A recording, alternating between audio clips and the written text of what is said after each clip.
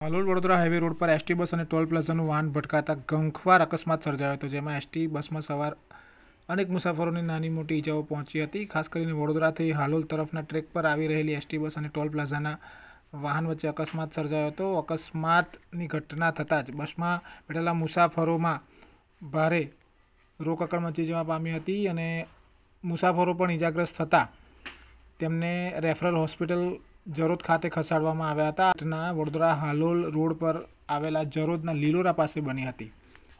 અકસ્માત સર્જાતા એસટી બસના આગળના ભાગને નુકસાન થવા પામ્યું હતું. અમારા આવા જ સમાચારો જોવા માટે અમારી પંચમહાલ ન્યૂઝ અપડેટ ચેનલને સબસ્ક્રાઇબ કરો, એનો વીડિયો શેર કરો, ગમે તો લાઇક કરો. નમસ્કાર.